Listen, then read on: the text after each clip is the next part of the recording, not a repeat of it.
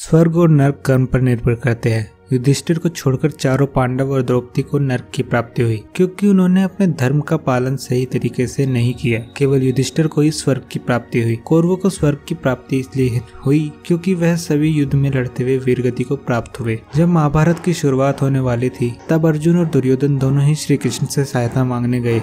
तब श्री कृष्ण ने दुर्योधन को नारायणी सेना और स्वयं दोनों में से एक को चुनने को कहा। तब दुर्योधन ने नारायणी सेना तथा अर्जुन ने श्री कृष्ण को चुना। श्री कृष्ण की एक शर्त थी कि वह युद्ध में हथियार नहीं उठाएँगे। तब अर्जुन के सारथी बनकर अर्जुन का मार्गदर्शन करेंगे। महाभारत के युद्ध समाप्त होने के बाद धर्म स्थापना हुई। पांडवों ने छत्तीस साल तक कार्यभार संभाला। इसके पश्चात परीक्षित जो अभिमन्यु के पुत्र थे, इनको राजपाट संभाल कर स्वर्ग की खोज में वन प्रस्थान जाने का निर्णय लिया। पांडव मेरु पर्वत पर चले गए।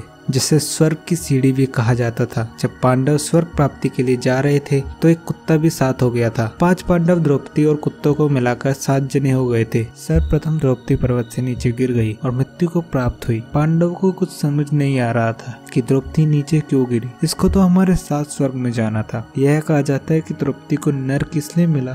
क्योंकि द्रौपदी का विवाह पांडवों के साथ हुआ था, लेकिन द्रौपदी केवल अर्जुन को ही पूर्णतः अपना पति मानती थी। पर जब द्रौपदी को पता चला कर्ण भी कुंती की संतान है तो द्रौपदी के मन में कर्ण के प्रति प्रेम भाव आने लगा। यह सब द्रौपदी के धर्म का हिस्सा नहीं था, इसलिए द्रौपदी को नर्क मिला। इसके पश्चात सहदेव की पर्वत से गिरकर मौत हुई और नर्क की प्राप्ति हुई। बाद नकुल पर्वत से गिरे और मृत्यु की प्राप्ति हुई। नकुल को नर्क इसलिए मिला क्योंकि नकुल सबसे सुंदर थे और वह अपने चरित्र के अहंकार में रहते थे। भीम को नर्क की प्राप्ति इसलिए हुई क्योंकि वह खाना खाने के सबसे ज़्यादा लोभी थे और वह दूसरों की कमजोरियों का आनंद लेते थे। अर्जुन खुद को दुनिया का सबसे तेज तीरंदाज मानते थे।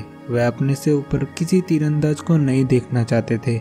युधिष्ठिर जब स्वर्ग की सीढ़ी तक पहुँचे तो इंद्र अपने रथ से युधिष्ठिर को लेने आए। युधिष्ठिर स्वर्ग लोक में गए तो वहाँ पर कौरवों, द्रोणाचार्य, भीष्म सभी को देखकर इंद्र से सवाल पूछा कि मेरे भाई कहाँ हैं?